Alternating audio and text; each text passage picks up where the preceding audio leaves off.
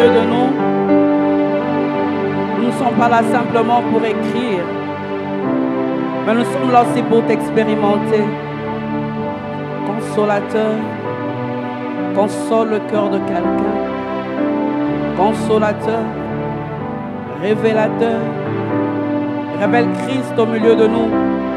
Glorifie Jésus. Glorifie Jésus, Saint-Esprit.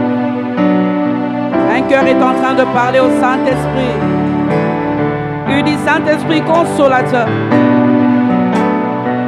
Saint-Esprit consolateur. Souffle au milieu de nous. Comme un vent qui apporte la vie. Comme un vent qui apporte la paix. Comme un vent qui apporte la guérison.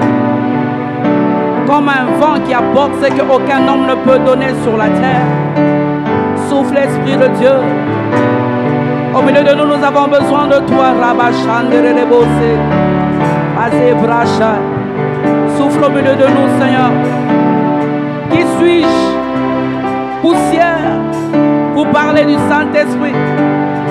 Qui suis-je pour mieux parler de toi? Tu sais mieux t'exprimer que quiconque.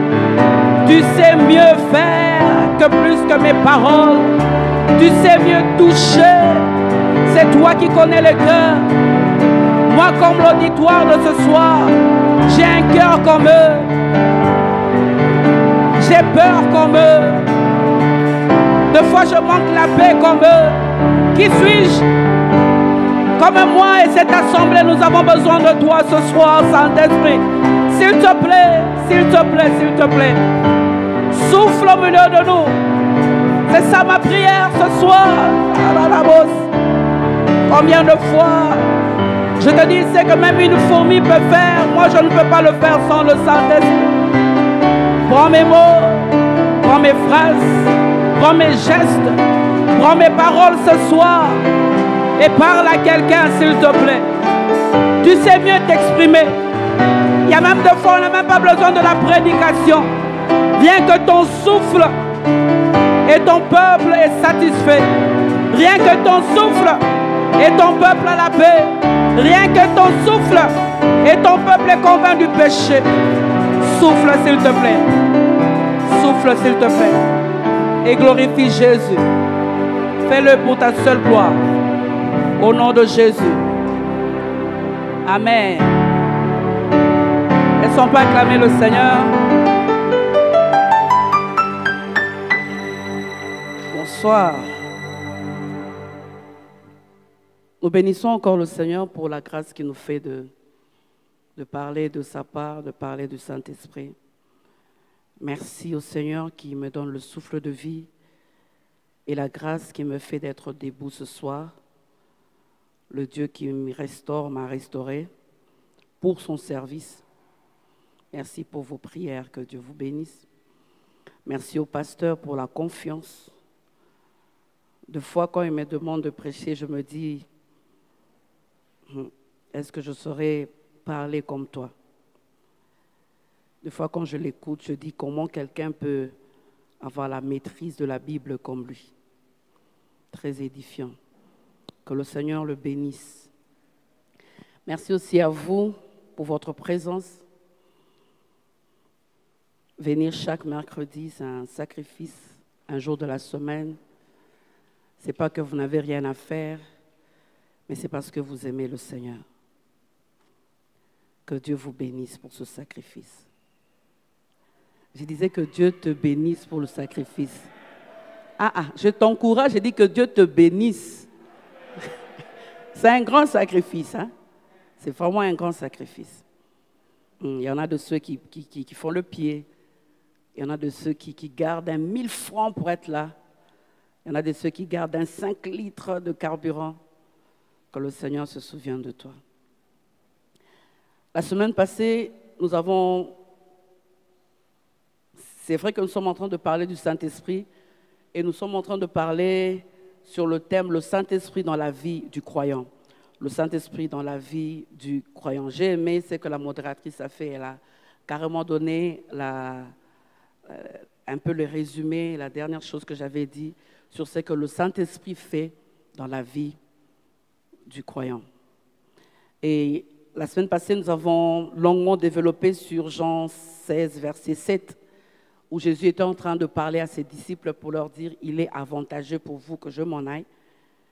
Et puis nous avons aussi parlé de Jean 14, verset 12, là où euh, Jésus est en train de dire que vous allez faire des choses beaucoup plus grandes, mais il le disait en termes d'impact spirituel par rapport aux âmes qui devaient être gagnées après lui.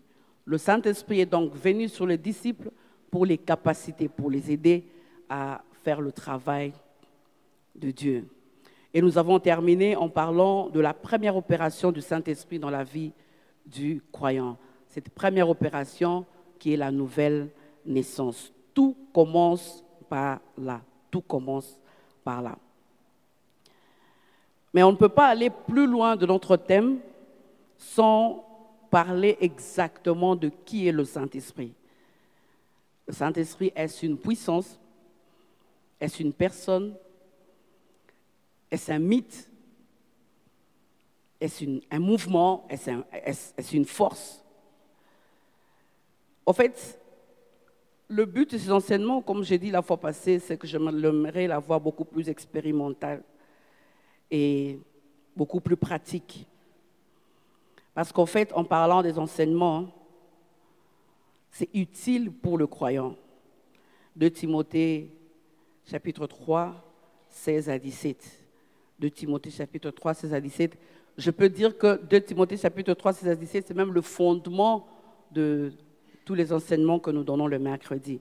Et j'ai pris la version parole vivante qui dit, car toute l'écriture a été rédigée sous l'inspiration de Dieu. C'est pourquoi elle est utile pour nous enseigner la vérité et nous en persuader, pour apprendre à nous connaître et pour nous convaincre du péché, pour réfuter les erreurs et rectifier nos pensées. Elle nous aide à réformer notre conduite et nous rend capables de mener une vie juste et disciplinée conforme à la volonté de Dieu. Ainsi, l'homme de Dieu se trouve parfaitement préparé et équipé et il est prêt pour accomplir toute bonne œuvre. Ça, c'est la version parole vivante. Ainsi, tenant compte de cela, je vous propose un canevas. Et dans mon canevas, j'aimerais plus par la grâce de Dieu, parce que je n'ai pas réponse à tout, que nous puissions ensemble réfléchir sur des questions autour du Saint-Esprit. Parce que beaucoup de gens se posent des questions sur le Saint-Esprit. Alors, mon canevas, je le donne ce soir, justement avec l'aide du Saint-Esprit. J'aimerais expliquer, expliciter tout au long de ces mercredis du mois de mars. J'aurai deux grandes parties. La première partie, je parlerai de qui est le Saint-Esprit. Et la deuxième partie, je parlerai des œuvres du Saint-Esprit dans la vie du croyant. Donc, j'ai donc subdivisé mes enseignements en deux grandes parties. Alors, dans la première partie, qui est le Saint-Esprit J'ai deux grands points. Le premier point, c'est la personne du Saint-Esprit. Qui est le Saint-Esprit? Le premier point, la personne du Saint-Esprit. Et dans la personne du Saint-Esprit, j'aimerais relever par la grâce de Dieu les éléments de sa personnalité. Les éléments de sa personnalité. Deuxième point, dans la personne du Saint-Esprit, j'ai relevé dix attitudes qui prouvent que le Saint-Esprit est une personne. Dix attitudes qui prouvent que le Saint-Esprit est une personne. Et puis, un nota bene, un notez bien, pour dire les cinq raisons pour lesquelles certaines personnes ne veulent pas croire que le Saint-Esprit est une personne, ou certaines personnes attribuent le Saint-Esprit à une force, à une puissance. Et j'ai relevé par la grâce de Dieu en, en tenant compte des commentaires des uns et des autres, des ouvrages que le Seigneur a mis à notre portée, cinq raisons. Donc, qui est le Saint-Esprit? Le premier point, la personne du Saint-Esprit. Dans la personne du Saint-Esprit, je peux dire A, les éléments de sa personnalité. B, dix attitudes qui prouvent que le Saint-Esprit est une personne. Toujours donc, qui est le Saint-Esprit? Deuxième point, la divinité du Saint-Esprit. J'aimerais parler de la divinité du Saint-Esprit. Et dans la divinité du Saint-Esprit, j'ai deux points que je peux dire A et B. A, les attributs divins du Saint-Esprit et les noms divins du Saint-Esprit. Donc, deuxième point, la divinité du Saint-Esprit. Et là, nous avons deux points, les attributs divins du Saint-Esprit. B, les noms divins du Saint-Esprit. Et je terminerai par la grâce de Dieu, je le crois, avec le temps, deux questions que les gens se posent souvent sur le Saint-Esprit. Et à chaque fois que je serai en train de parler du Saint-Esprit, j'aimerais par la grâce de Dieu relever un peu des questions qui suscitent un peu de discussions, parce que c'est même pour ça. Et j'ai aimé euh, la version que nous venons de lire des paroles vivantes, c'est-à-dire réfuter les erreurs et rectifier nos pensées par rapport aux choses que nous croyons être vraies, alors que ce n'est pas ça, à la lumière de la parole de Dieu. Donc nous aurons deux questions que les gens se posent sur le Saint-Esprit. Aujourd'hui, par la grâce de Dieu, nous voulons parler de toutes ces choses si l'heure nous le permettait. Alors, le premier point, qui est le Saint-Esprit? Qui est le Saint-Esprit Donc, qui est le Saint-Esprit? Comme je vous l'ai dit, il y a un, la personne du Saint-Esprit. Et dans la personne du Saint-Esprit, comme je viens de vous le dire, le point A, les éléments de sa personnalité. On est ensemble, pour ceux qui écrivent. Parce que beaucoup de gens me disent que je parle un peu beaucoup plus vite. J'essaie de faire un effort pour qu'on me comprenne. A, les éléments de sa personnalité. Alors, de prime abord, j'aimerais nous fixer pour nous dire que le Saint-Esprit est une personne à part entière. Une personne qui possède tous les éléments essentiels, tous les éléments essentiels que peut avoir une personnalité. Il est une personne entière, à part entière, et qui possède tous les éléments essentiels qui définissent une personnalité. Les éléments essentiels qui définissent une personnalité, il y a l'intellect, il y a la sensibilité et il y a la volonté. L'intellect, la sensibilité et à la volonté. Quand il y a ces trois choses réunies, c'est là, s'il y a des psychologues ici, c'est là qui constitue le fondement ou les éléments essentiels d'une personnalité. Et ces éléments essentiels sont similaires à l'homme. C'est-à-dire l'homme est constitué de l'esprit, de la volonté et des émotions. Esprit, volonté, émotion. En d'autres termes, euh, le Saint-Esprit possède tous les attributs essentiels d'une personnalité. C'est pour cela, je dis déjà que le Saint-Esprit, c'est une personne. Alors, pour encore mieux expliquer ce que je suis en train de dire, c'est que le Saint-Esprit est une personne avec cinq caractéristiques. Cinq caractéristiques. Plutôt six caractéristiques. La première, on dit quoi? Un, une, la première caractéristique, une caractéristique. La première caractéristique, c'est que, un, il est doué de volonté. Il a une volonté. Le Saint-Esprit a une volonté. 1 Corinthiens 2, le verset 11. 1 Corinthiens 2, le verset 11. La Bible dit, il donne à chacun ses dons comme il veut. Il a une volonté, le Saint-Esprit. Deux, dans les caractéristiques de la personnalité du Saint-Esprit, il est doué de pensée. Il a une pensée. Il a une pensée, Romains 8, le verset 27. Romains 8, 27, la Bible dit, Dieu connaît quelle est la pensée de l'Esprit. Romains 8, 27. Trois, il est doué de connaissance. Le Saint-Esprit est doué de connaissance parce que c'est une personnalité. Il est doué de connaissance. La Bible dit dans 1 Corinthiens 2, le verset 11, la Bible dit, L'Esprit connaît et sonde les choses de Dieu. L'Esprit connaît et sonde les choses de Dieu. Quatrième caractéristique de la personnalité qui prouve que le Saint-Esprit est une personne, il est doué de langage. Il a un langage. Et là, nous avons 1 Corinthiens 2, le verset 13.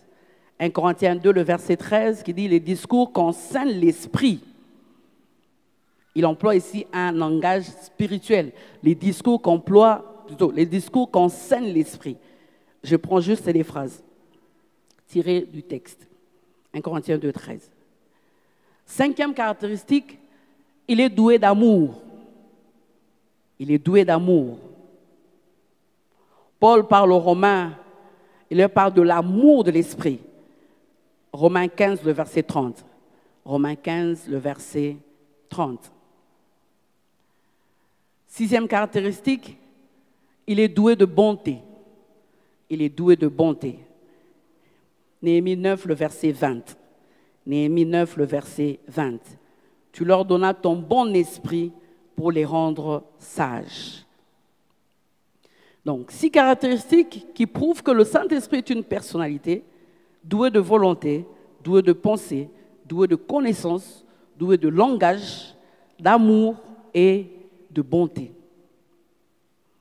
Alors, le point B, comme je vous l'ai dit en introduction, dix attitudes qui prouvent effectivement que le Saint-Esprit est une personne.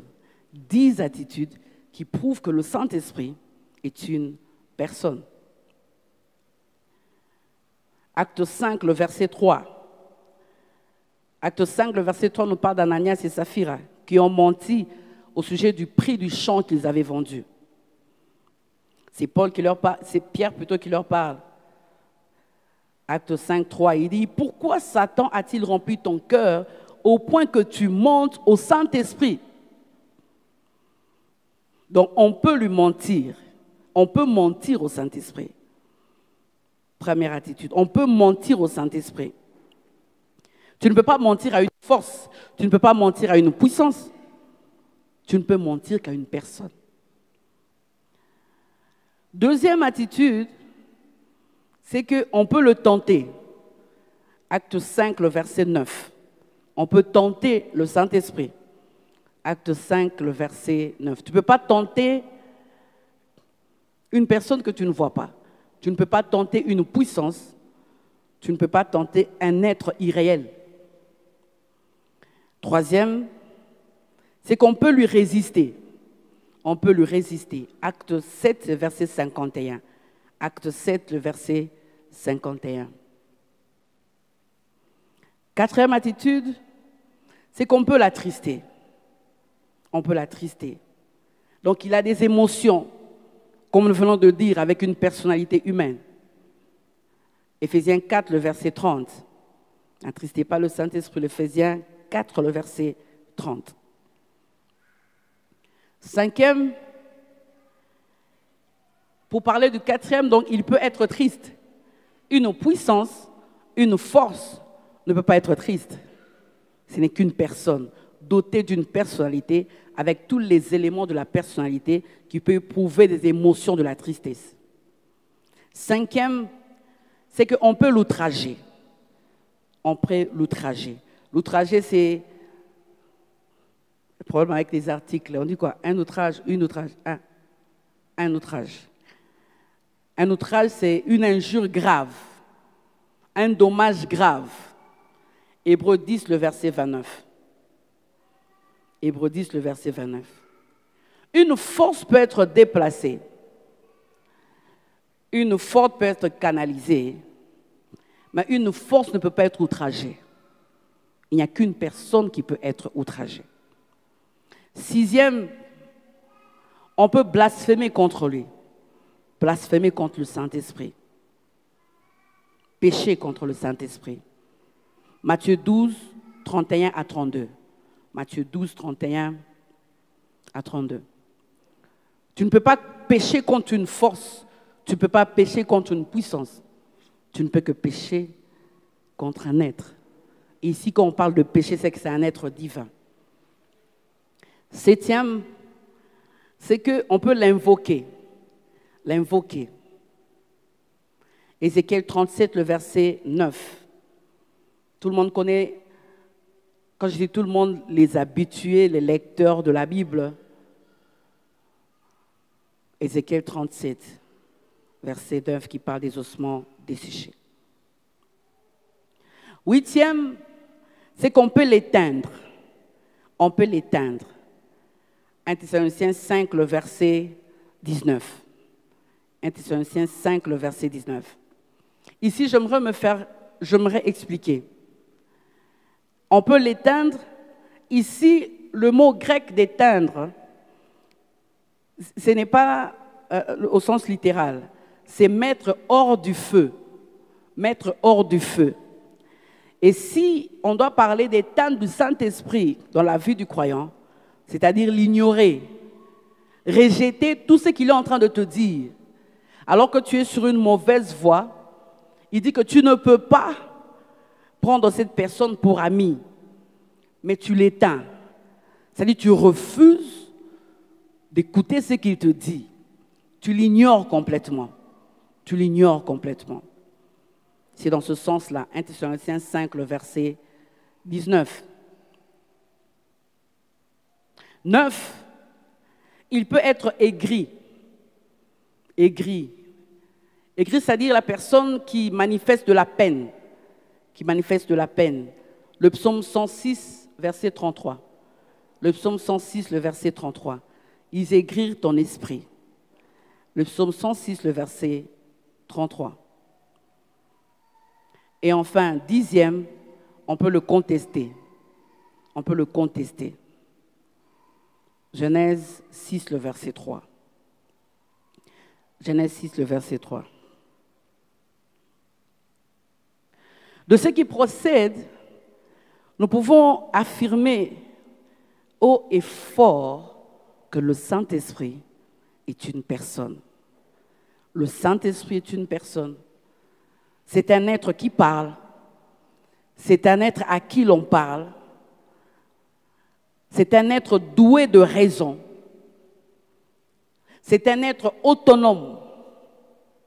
C'est un être doué de volonté, de capacité, d'action, de sentiment et de parole. Le Saint-Esprit est une personne qui parle, à qui l'on parle, doué de raison, il est autonome, doué de capacité, de volonté, d'action, de sentiments et de paroles. Alors les cinq raisons pour lesquelles certaines personnes pensent que le Saint-Esprit est une puissance, les cinq raisons, je le mets pas sous forme d'un point, mais je les mets sous forme d'un noté bien. C'est juste une parenthèse. Juste une parenthèse. Les cinq raisons. La première raison pour laquelle certaines personnes contestent et disent que le Saint-Esprit n'est pas une personne, la première raison, c'est parce qu'il est invisible. Il est invisible. Mais là, il est invisible. Mais la visibilité n'est pas une condition nécessaire pour avoir une personnalité. La visibilité n'est pas une condition nécessaire d'une personnalité. Nous venons de voir les éléments d'une personnalité. Les gens disent qu'il a une force, il a une puissance parce qu'il est invisible, on ne le voit pas. Tel qu'on est là, est-ce que je peux demander à un frère, à une sœur, montre-moi le Saint-Esprit? Où est-ce qu'il est, Deuxième raison pour laquelle les gens pensent que le Saint-Esprit n'est pas une personne et qu'il est une force, c'est que le nom personnel du Saint-Esprit n'est pas donné. Le nom personnel du Saint-Esprit n'est pas donné. Jésus, on l'appelle Jésus, il a un nom. Seigneur Jésus. Dieu, on l'appelle le Père, il a un nom. Mais le nom personnel du Saint-Esprit n'est pas donné. Mais attention, le Saint-Esprit n'est pas incarné comme le Fils, bien sûr il n'a pas un nom comme on peut dire Dieu le Fils et Dieu le Père. Pourquoi est-ce que nous comprenons facilement lorsque nous disons Dieu le Fils et Dieu le Père? Parce que chaque humain a un Père. Et chaque humain, au courant de la vie, peut avoir un Fils. C'est pour cela que nous, nous comprenons facilement quand nous disons Dieu le Père et Dieu le Fils. Mais quand nous disons le Saint-Esprit, on ne sait pas le situer parce que certains commentateurs disent qu'il a un nom qui n'est pas personnel. Bien qu'il n'a pas un nom personnel à lui, mais son activité est d'abord intérieure et secrète. Son activité est intérieure et son activité est secrète. Troisième raison pour laquelle les gens ne croient pas que le Saint-Esprit est une personne, c'est qu'il y a eu plusieurs hérésies, plusieurs hérésies qui ont alimenté cela, plusieurs enseignements qui ont alimenté cette conception-là que le Saint-Esprit n'était pas une personne. Il y a plusieurs livres, il y a plusieurs auteurs qui en parlent et qui, même, comment je dis, qui, démontrent même, qui démontrent. Et je l'ai déjà dit une fois ici, les actes des apôtres, il était à l'heure. Quand je dis l'air, c'est l'air, c'est pas l'heure, l'air de la persécution. Mais nous, nous sommes à l'ère de, des faux discours où les gens tordent la parole de Dieu. C'est pour cela, ces enseignements que nous sommes en train de donner sont très importants. Quatrième raison pour laquelle les gens ne croient pas que le Saint-Esprit est une personne, c'est par rapport au mot esprit. C'est par rapport au mot esprit. Au mot esprit qui veut dire pneuma. P-N-E-U-M-A qui est traduit du grec comme vent ou souffle. C'est par rapport déjà au nom, esprit. Pneuma, qui est traduit du grec vent ou souffle. C'est pour ça que certaines personnes démontrent et croient que le Saint-Esprit n'est pas une personne. La cinquième raison pour laquelle les gens pensent que le Saint-Esprit n'est pas une personne, du fait que, deux fois, il est présenté comme des symboles. Nous allons parler du symbole du Saint-Esprit. Il est présenté comme symbole, comme le vent, comme l'eau, comme le feu, comme l'huile, comme le sceau. Mais bien aimé, Christ aussi, deux fois, il est pris au sens figuré. Il y a dans la Bible où deux fois on parle de Christ comme la porte. Il y a deux fois dans la Bible, on parle de Christ comme le lion. Il y a deux fois, on parle de Christ comme le rocher. Il y a deux fois, on parle de Christ comme l'agneau. Mais cela ne veut pas dire que parce que nous sommes en train de dire que Christ est la porte, c'est qu'il n'est pas une personne. Donc, si nous voulons prendre la même chose pour ceux qui ont fait la logique, et on ne peut pas dire, c'est tout simplement parce qu'il est attaché à un symbole qu'il n'est pas une personne. Le vent, l'eau, le feu, l'huile, le sceau. On va en parler par la grâce de Dieu en parlant des symboles du Saint-Esprit dans la vie du croyant.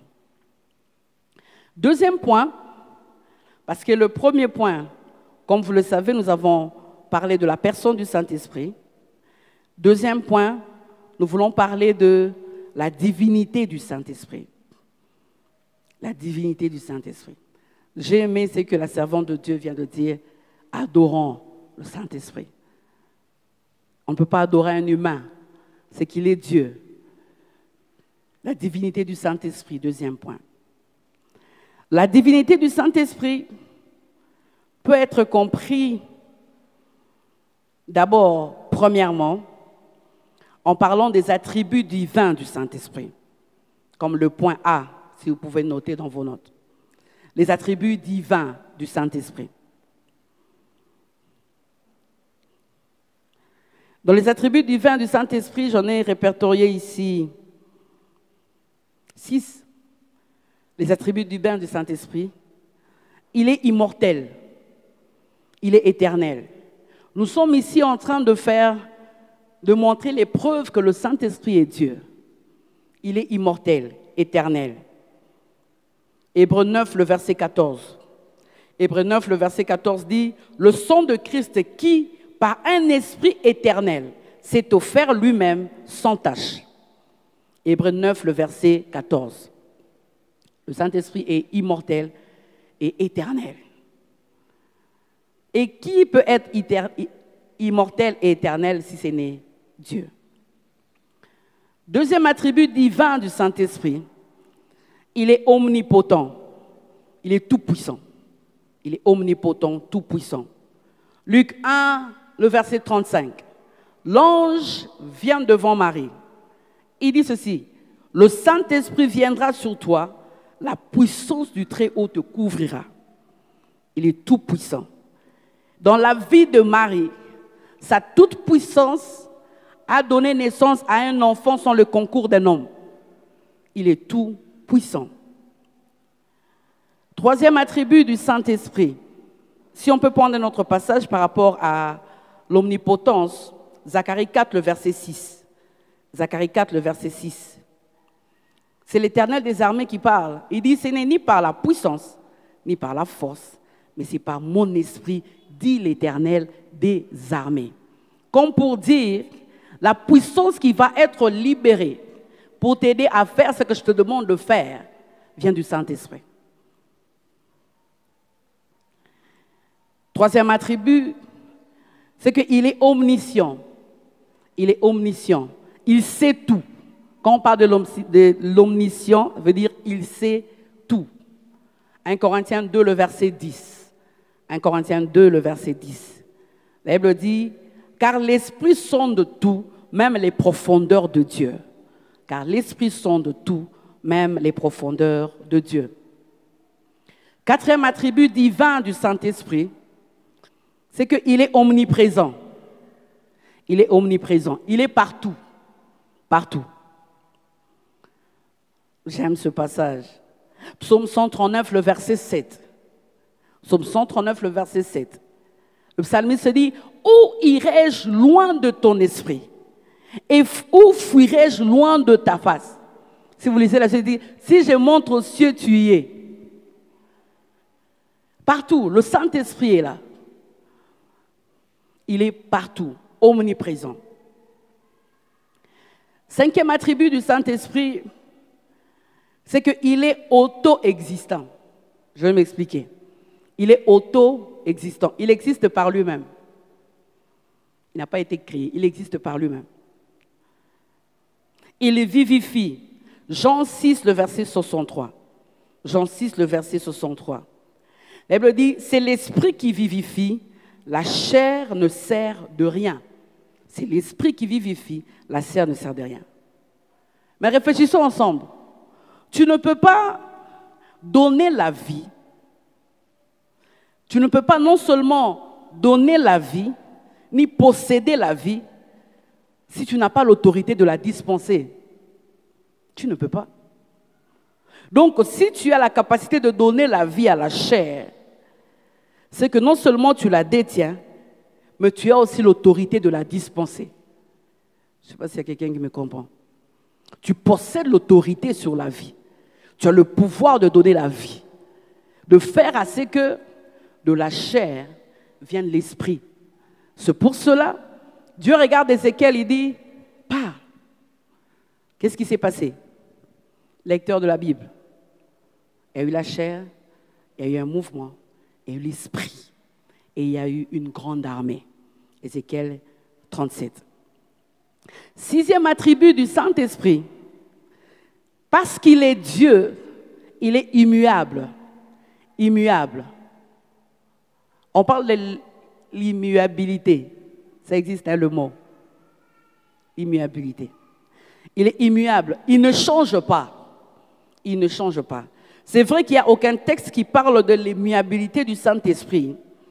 Mais parce que déjà, on va en parler par la grâce de Dieu dans les mercredis qui viennent, où on va parler du Saint-Esprit dans la Trinité, dans la vie du croyant, du fait qu'il est Dieu et dans la Trinité, il est immuable.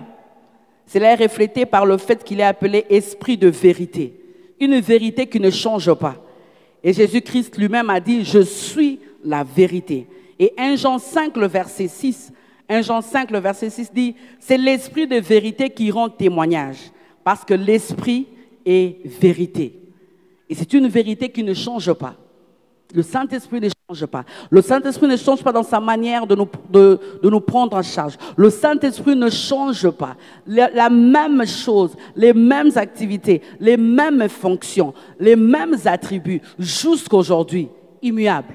Pourquoi? Parce que il fait partie de la Trinité et tu ne peux pas faire de partie de la Trinité sans être Dieu. Immuable.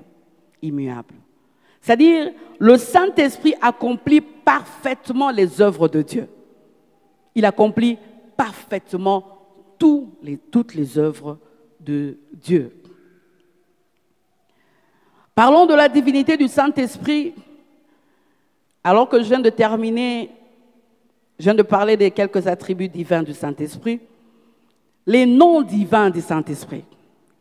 Il y a des noms, lorsque nous lisons, c'est la preuve que le Saint-Esprit est Dieu. Les noms, les noms qu'on donne au Saint-Esprit.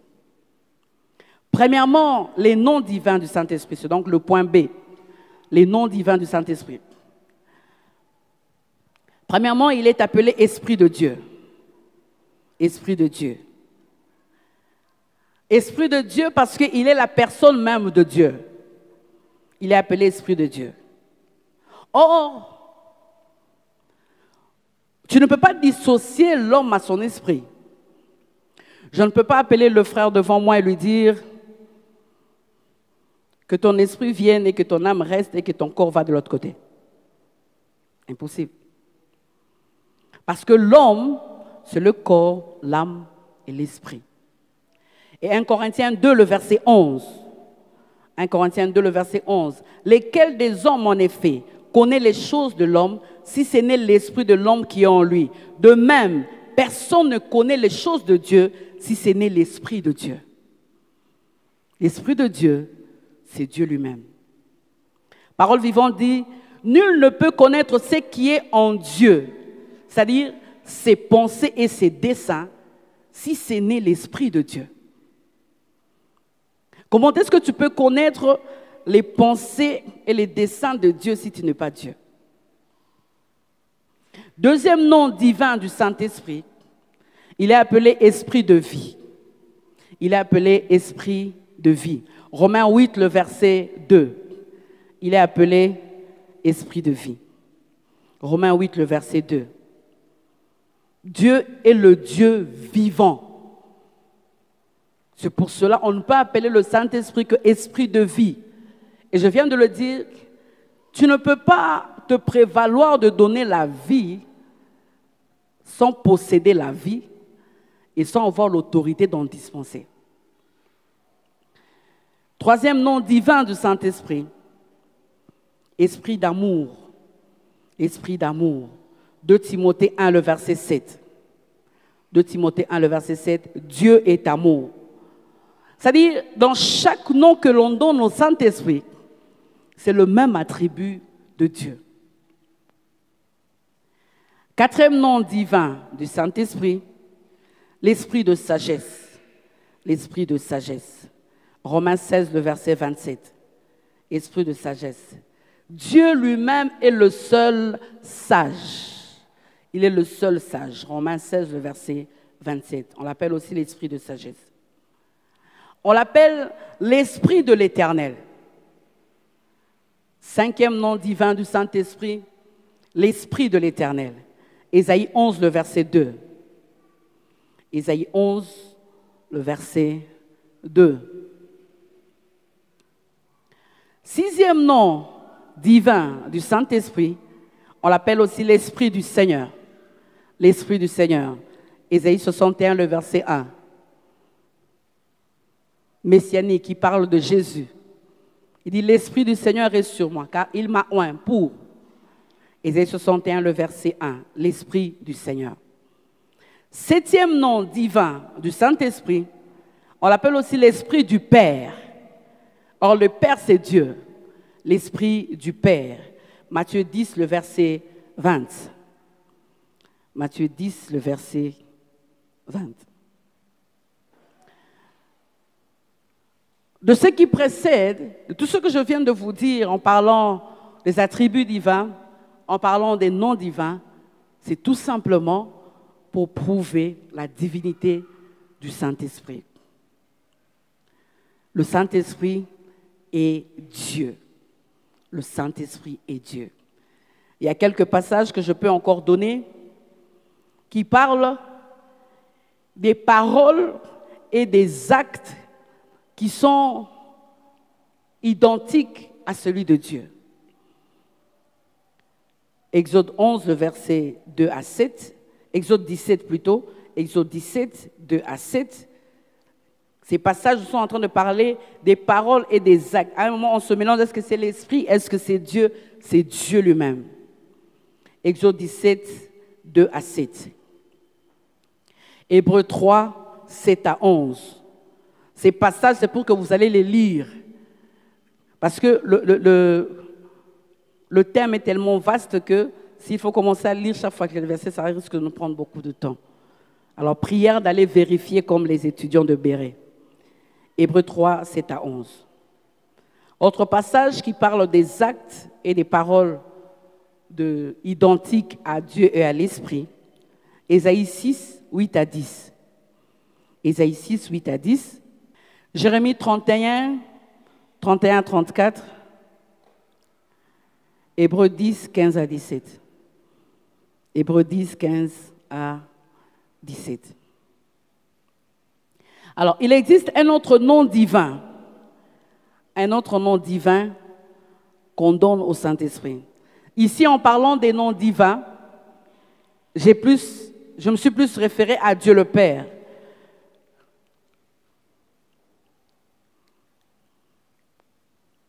Maintenant, il existe un autre nom divin. Premièrement, on parle de l'Esprit de Jésus. L'Esprit de Jésus. Acte 16, le verset 7. Acte 16, le verset 7. L'Esprit de Jésus. Ici, c'est parlant de Paul et de Silas. Elle dit, arrivé près de la Syrie, ils se, ils se disposèrent à entrer à, Pétini. Mais l'Esprit de Jésus ne leur permit pas. L'Esprit de Jésus ne leur permit pas. Acte 16, le verset 7. Romains 8, le verset 9, nous parle de l'Esprit de Christ.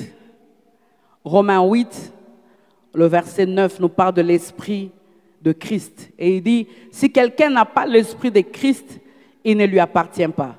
Si quelqu'un n'a pas l'Esprit de Christ, il ne lui appartient pas. C'est toujours en parlant du Saint-Esprit.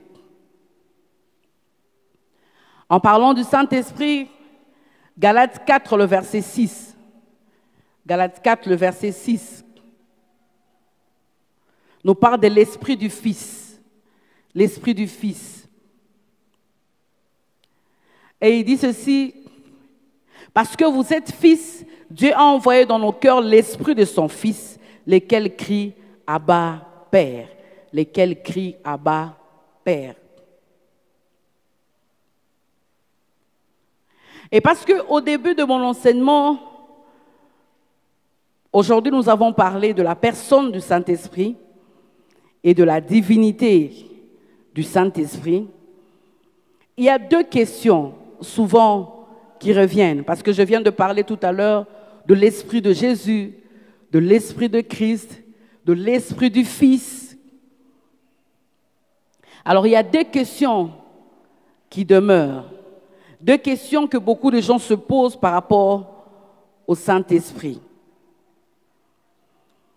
Et ces deux questions, je les tirées d'un auteur. Le titre de l'ouvrage, c'est La personne et l'œuvre du Saint-Esprit. Il a très bien présenté les réponses à ces deux questions. La première question, c'est quelle différence y a-t-il entre l'Esprit de Dieu et l'Esprit de Jésus? Quelle différence y a-t-il entre l'Esprit de Dieu et l'Esprit de Jésus?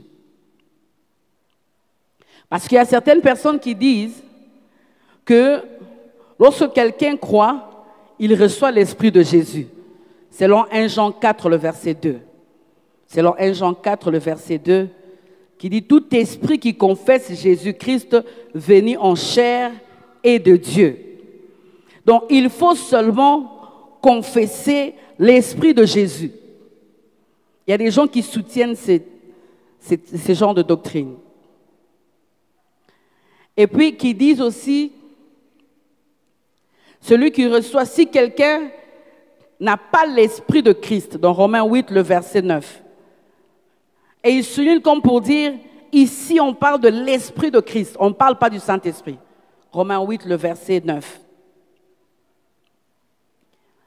Et ils disent aussi ceci, c'est lorsque tu es baptisé du Saint-Esprit que tu reçois le Saint-Esprit. Tu reçois l'Esprit Saint, l'Esprit, le Saint-Esprit. C'est comme s'il y a deux esprits, l'Esprit de Jésus et le Saint-Esprit. Non, il n'y a qu'un seul Esprit divin qui est le Saint-Esprit.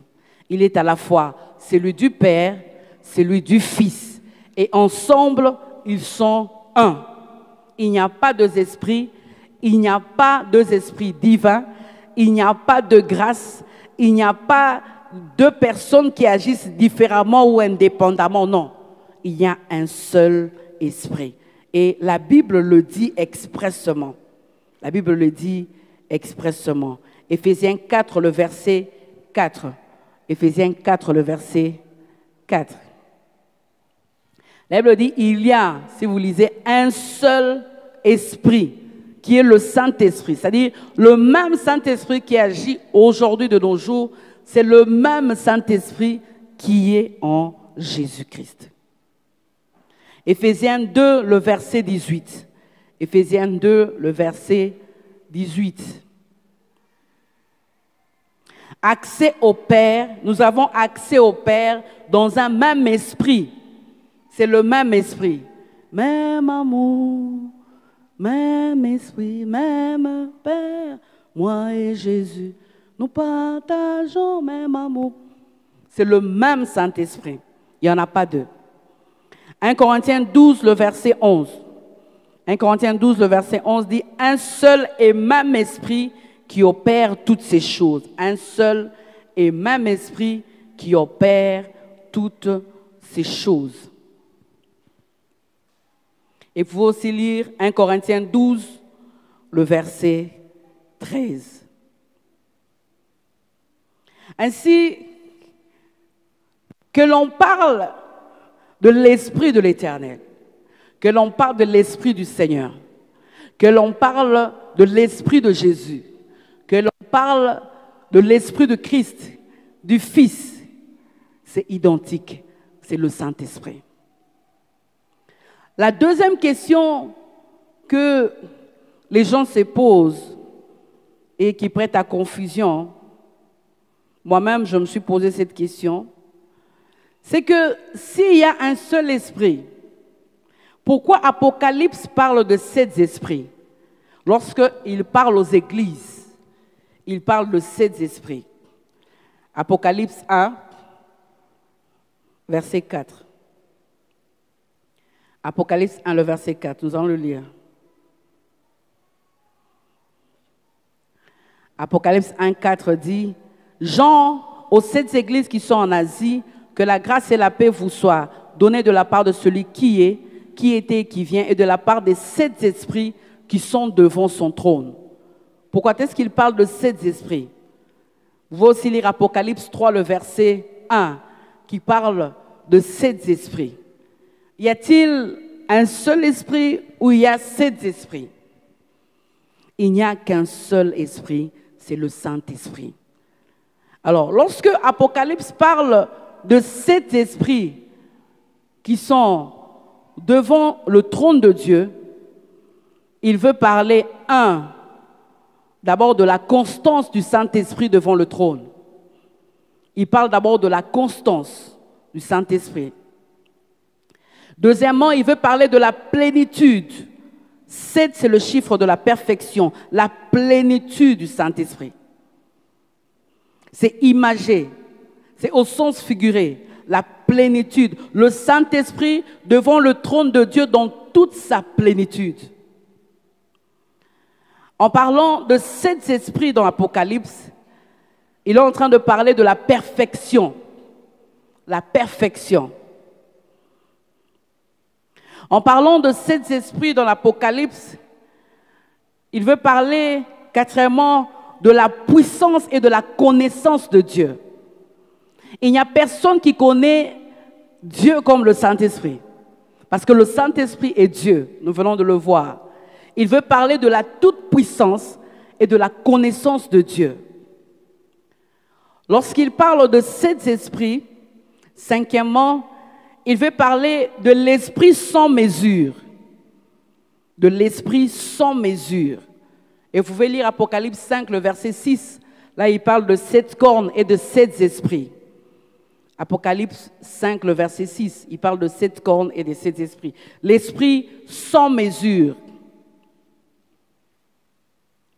Mais aussi, vous pouvez lire, si on peut mettre ensemble, c'est qu'Apocalypse parle par rapport aux sept esprits.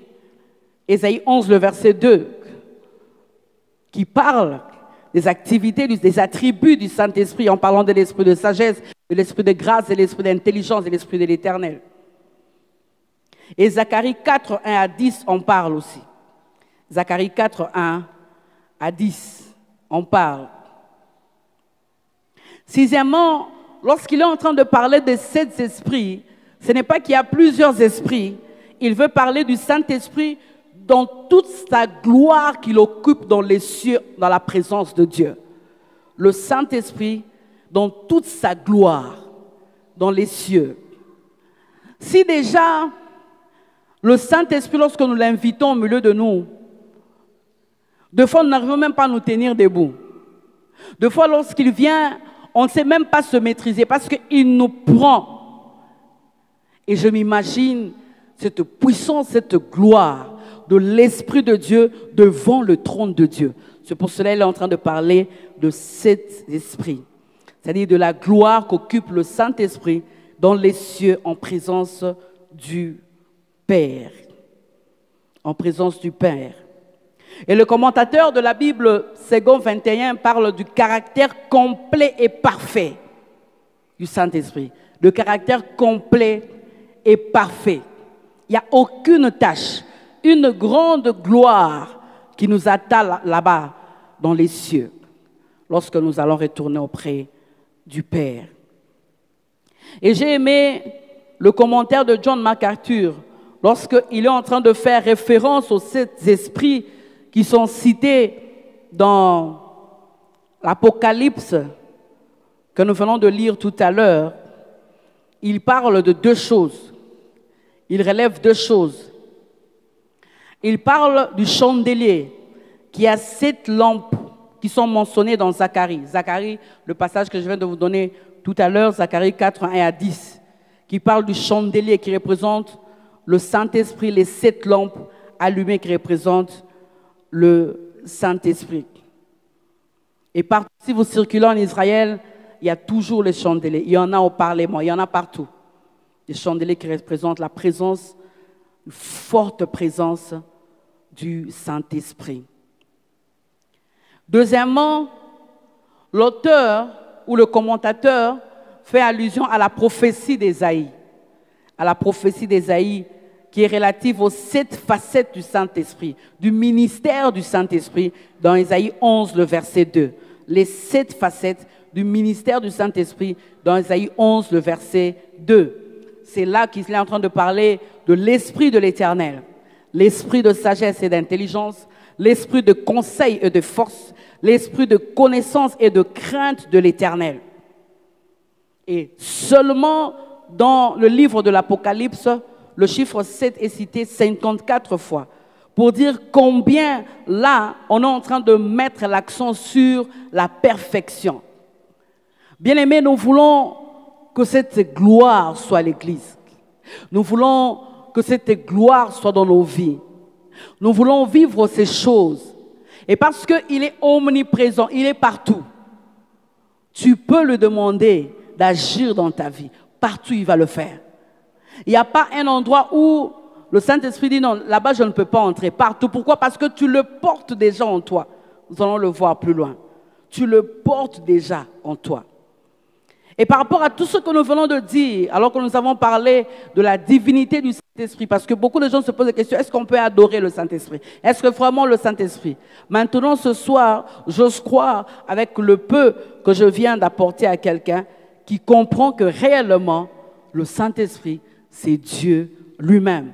Que le Saint-Esprit n'est pas une puissance, que le Saint-Esprit n'est pas une force que je peux me disposer comme je veux. Parce que si le Saint-Esprit est une force, si le Saint-Esprit est une puissance, alors je peux lui commander, je peux le dompter, je peux lui dire, ici n'arrive pas, arrête-toi là-bas.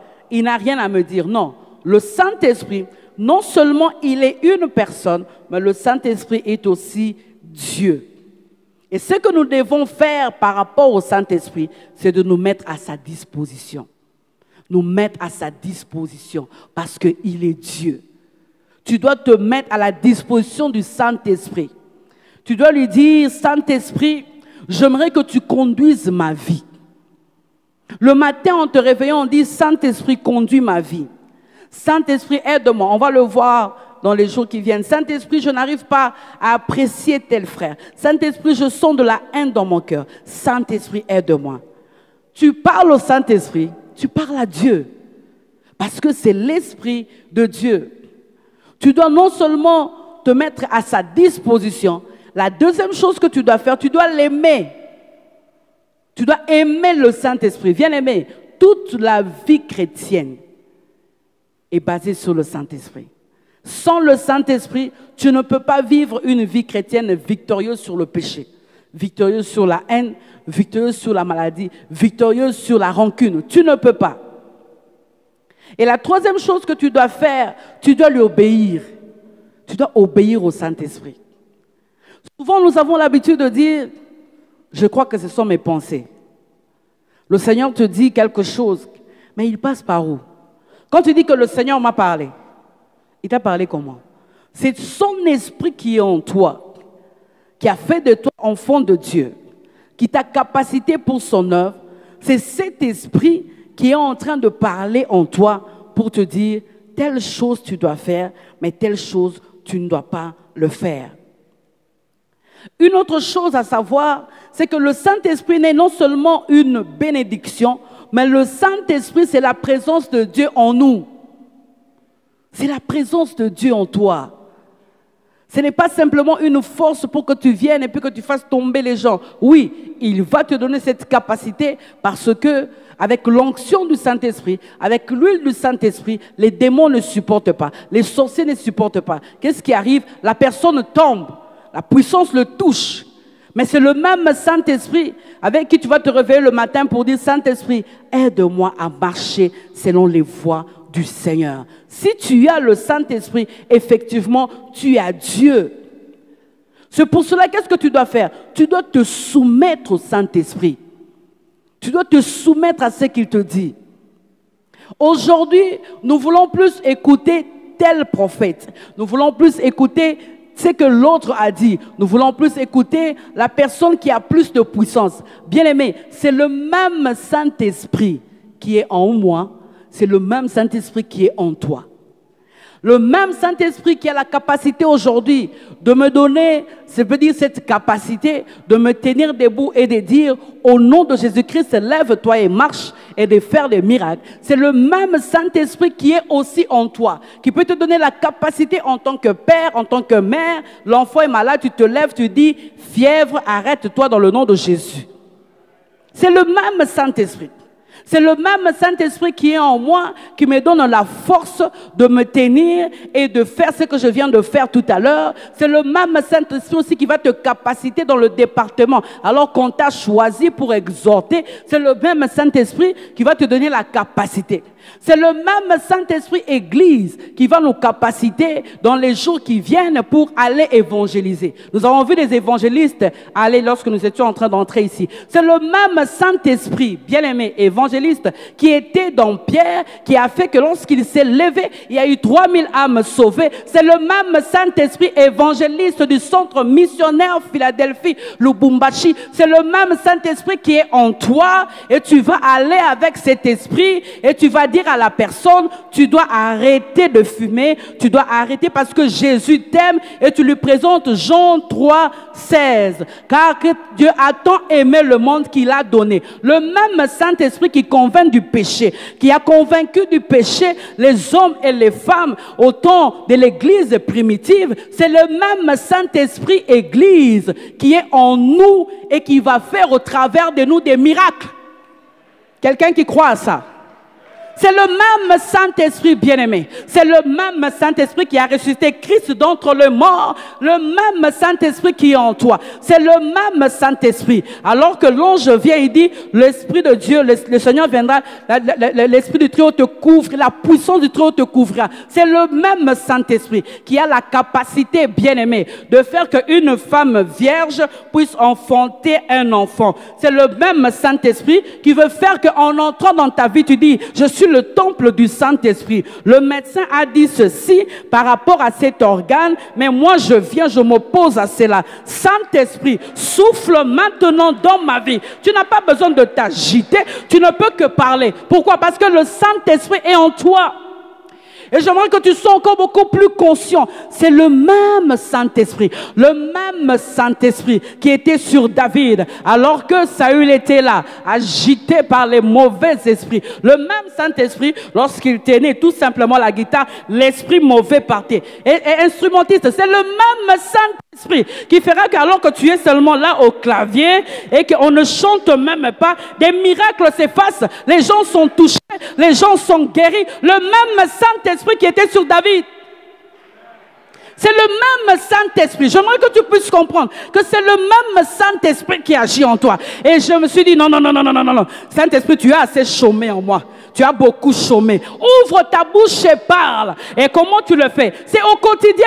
Chaque matin, tu te lèves, tu dis, Saint-Esprit, aide-moi. Quelles sont les choses que tu n'arrives pas à faire depuis que tu es chrétien? Quelles sont les choses, quels sont les péchés sur lesquels tu n'arrives pas à devenir victorieux sur ça?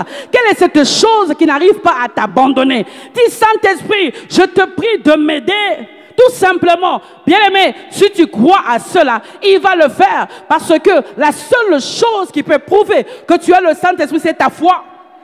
Je crois qu'il est en moi, alors je parle. Je crois qu'il est en moi, alors je parle. Je crois qu'il est en moi, alors je suis en train d'avancer. C'est le même Saint-Esprit. C'est le même Saint-Esprit. Alors que la terre était informe et vide. Alléluia. C'est le même Saint-Esprit. Lorsqu'il vient et dit que la lumière soit. Alléluia. C'est le même Saint-Esprit qui amène à l'existence des choses qui n'ont jamais existé. C'est le même Saint-Esprit qui peut te lever et tu peux te dire, ah, maladie, tu as assez duré. Maintenant, allez, libère, sors, libère. Est-ce que tu as seulement besoin qu'on t'impose les mains? Parce que la personne qui t'impose les mains a le même esprit que toi.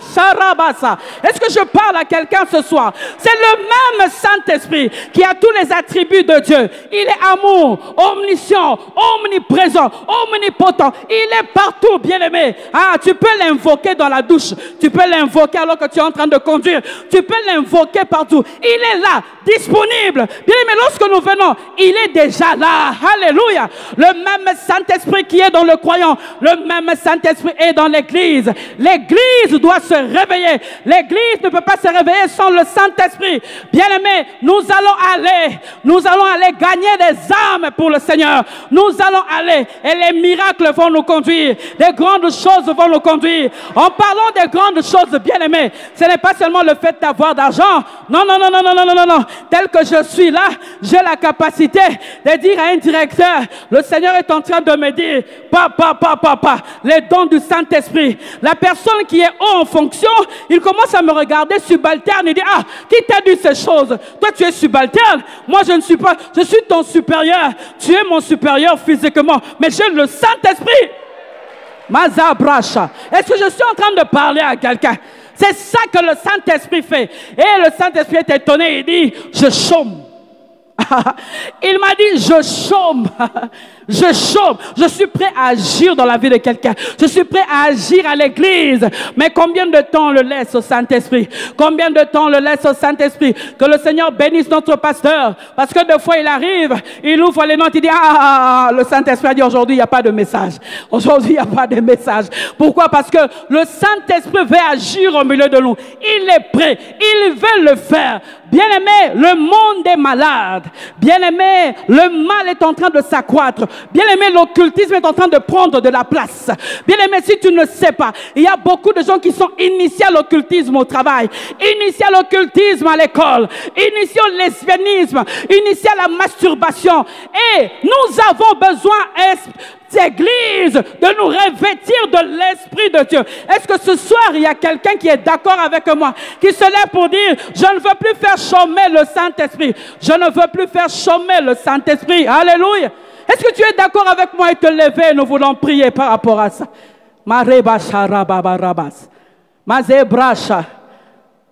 Même amour, même esprit, même onction, même autorité, même pouvoir avec le Fils. Alléluia. Commence à parler. Dis Seigneur, j'aimerais que tu puisses me revêtir. Tu es Dieu. Je te lève, Saint-Esprit. Je te lève, Saint-Esprit, dans ma vie. Et si tu as dans ton cœur, bien-aimé, beaucoup de choses qui bloquent dans nos cœurs, c'est la haine, la rancune. Dis Seigneur, aide-moi à pardonner cette personne. Aide-moi à pardonner mon père qui m'a abandonné très tôt. Aide-moi à pardonner ma mère qui m'a abandonné très tôt. Même amour, même esprit, même père, moi et Jésus. C'est que Jésus a fait moi je peux le faire. C'est que Jésus a fait, moi je peux le faire. Pourquoi? Parce qu'il m'a doté de la puissance nécessaire. Le Saint-Esprit est Dieu. Le Saint-Esprit est Dieu. Le Saint-Esprit est Dieu. Le Saint-Esprit. Alléluia. Alléluia. Alléluia. Alléluia. Alléluia. demander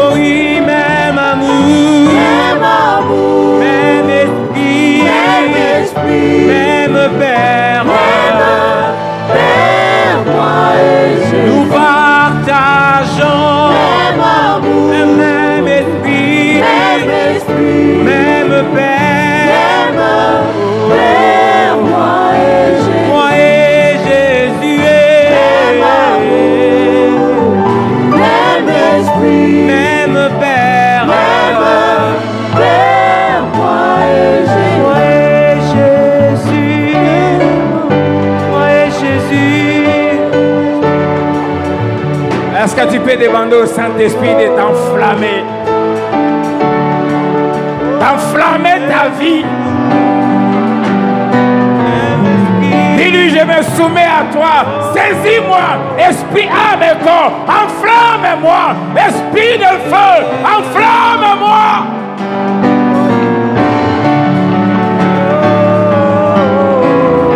Oh Saint-Esprit, enflamme ton Église. Enflamme ton peuple. Reviens-nous de ta puissance. Reviens-nous de ton autorité.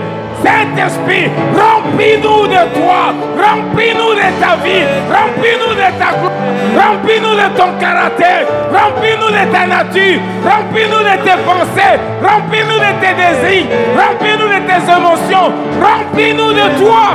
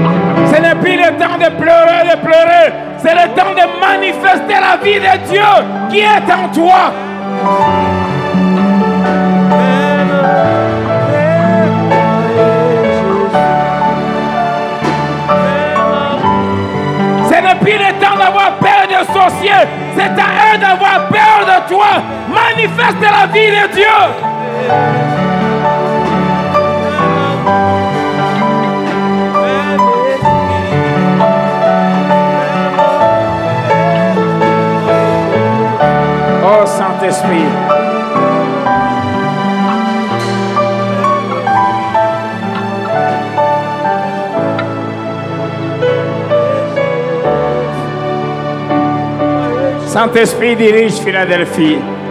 Saint-Esprit, saisis-toi de nos vies. Saint-Esprit, empare-toi de nos vies. Saint-Esprit, remplis nos vies de toi. Saint-Esprit, change-nous.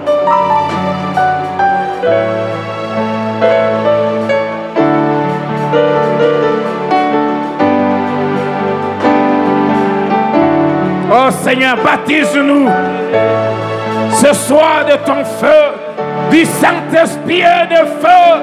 Réveille-nous de ton autorité. Change-nous en, en- en des personnes nouvelles.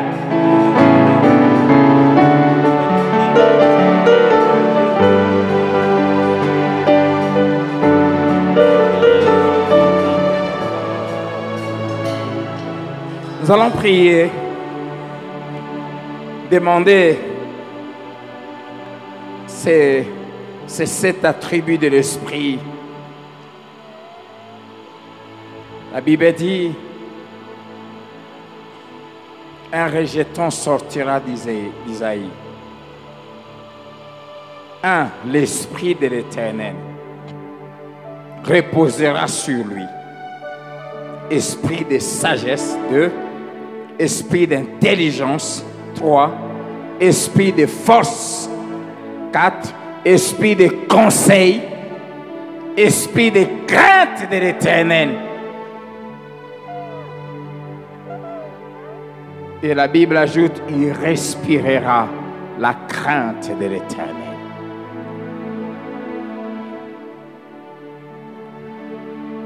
Demande à Dieu de te remplir de son esprit de sagesse. Sans la sagesse, il est impossible de mener une vie chrétienne.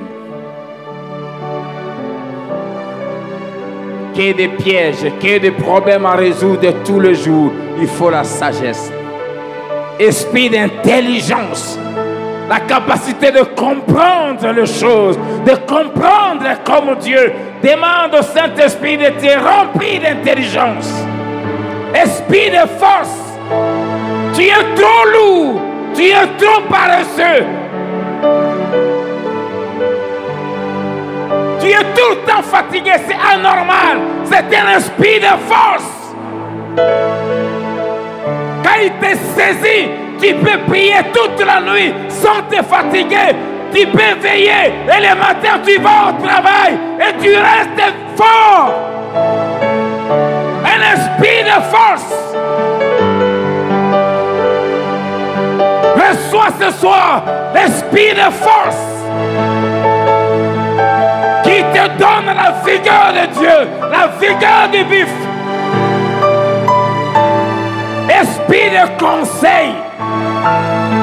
C'est pas normal qu'on dise que tu as le Saint-Esprit, mais tu te trompes tout le temps dans le choix. Tu fais des erreurs tout le temps. C'est un esprit de conseil. Le Saint-Esprit nous conseille. Il a dit, je t'instruirai. Je te montrerai la voie que tu dois suivre. Je te conseillerai.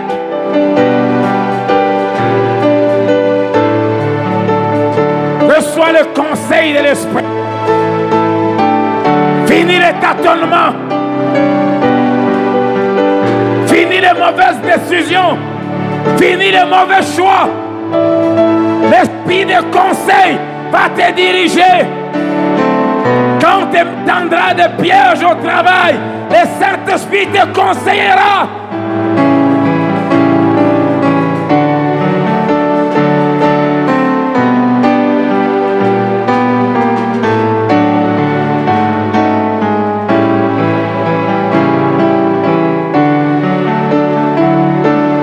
Il est aussi l'esprit de connaissance qui te remplit de la connaissance de Dieu, te donne la capacité de connaître demain, de connaître l'avenir. C'est l'esprit de connaissance qui illumine ton intelligence.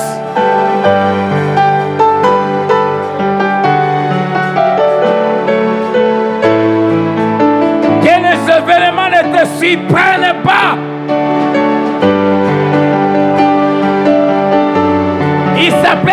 Esprit de connaissance.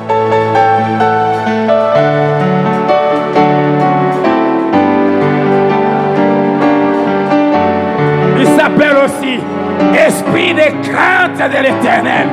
Du reste, il s'appelle Saint-Esprit. Un esprit qui est saint. Reçois la crainte de Dieu. Là où il y a l'esprit, là où il règne, on respire la crainte de l'éternel. Sois délivré de ces péchés. Sois délivré de cette faiblesse. Sois délivré de la jalousie au nom de Jésus. Sois délivré de la haine au nom de Jésus. Sois délivré du mensonge au nom de Jésus. Sois délivré de la colère au nom de Jésus. Reçois l'esprit de crainte de l'éternel.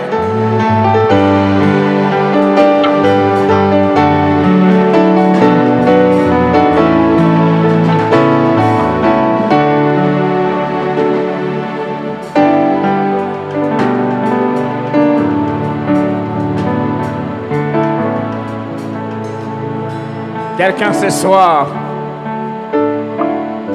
a besoin d'être consolé. Jésus lui-même l'a appelé l'esprit de consolation. Que le Saint-Esprit nous console ce soir. Quand le Saint-Esprit vient, Jésus a dit, l'Esprit du Seigneur est sur moi. Il m'a oint. Quand le Saint-Esprit nous oint, nous devenons des prédicateurs de l'Évangile pour annoncer la bonne nouvelle. Nous- Deux, il dit, pour guérir les cœurs brisés. Je prie ce soir, ô Saint-Esprit, mon Dieu, guéris des cœurs qui sont brisés, guéris des cœurs qui saignent, guéris des cœurs qui pleurent ce soir. Esprit de guérison, guéris les cœurs ce soir. Que Dieu te fasse oublier ces mauvais souvenirs, ces déceptions, ces humiliations. Que ton cœur soit guéri. Il guérit les cœurs brisés, les cœurs froissés, les cœurs écrasés. Il leur redonne la force. La Bible appelle aussi l'esprit de joie. Reçois la joie ce soir. Que ce visage de tristesse soit ôté au nom de Jésus.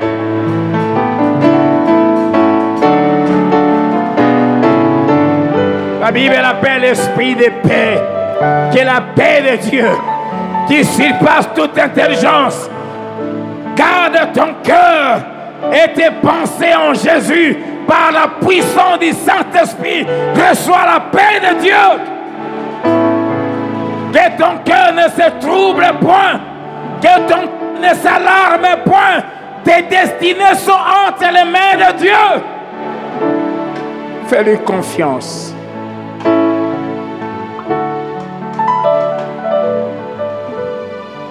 Bien-aimé, le Père avait planifié le salut.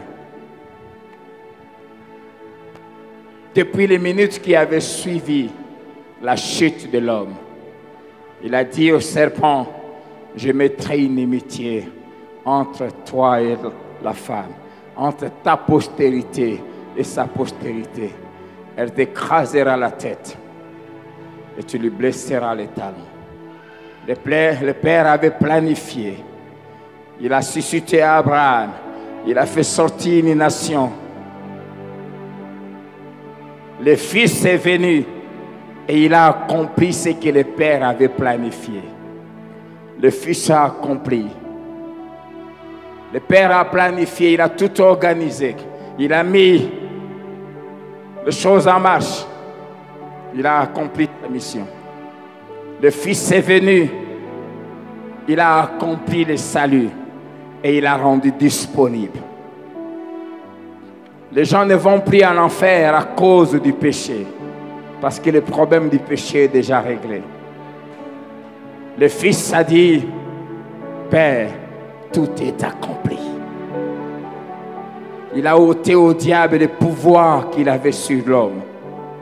Il a ôté au péché son pouvoir d'écraser l'homme.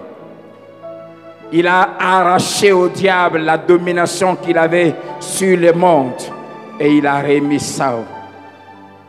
Il a tout récupéré, même la clé de la mort et du séjour des morts. Fini sa mission, il est parti. Maintenant, il est assis à la droite de Dieu.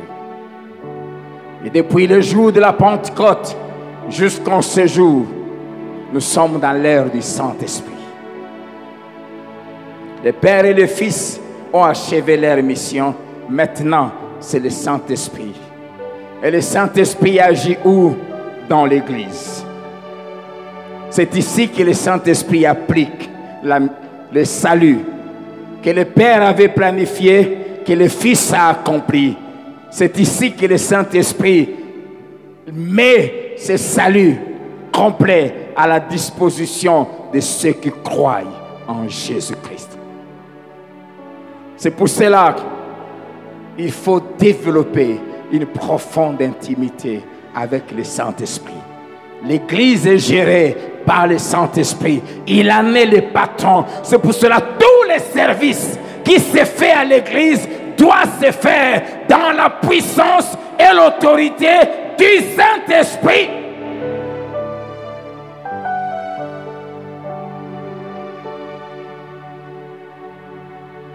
C'est le Saint-Esprit qui règne.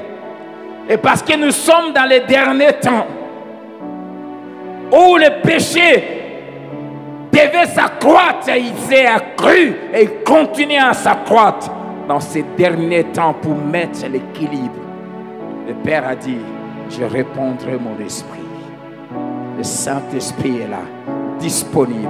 Je t'en supplie, apprends chaque jour, minimum, à avoir une heure avec le Saint-Esprit, de celle à celle, à parler avec lui, à l'adorer, à le célébrer, à proclamer ses œuvres. Apprends à se mettre à sa disposition en disant, Saint-Esprit, saisis-toi de moi, prends ma bouche, contrôle ma bouche, contrôle mes yeux, contrôle mes mains, contrôle mes pieds, comme Jésus. Sers-toi de moi, sauve par moi, conseille, oriente, guéris, dirige, délivre par moi. Sans lui, il n'y a aucune vie chrétienne glorieuse. Aime le Saint-Esprit. Travaille ton amitié avec lui. Je t'en supplie. Les temps sont mauvais. Oubliez la télé. Oublions les distractions. Travaille, travaille, travaille ton amitié avec l'Esprit. Travaille, parle avec lui. Prie en langue. Parle, parle, parle. Que Dieu nous bénisse. Merci Saint-Esprit. Seigneur, Nous ne sommes pas aussi venus main vide dans ta maison. Accepte. Je sanctifie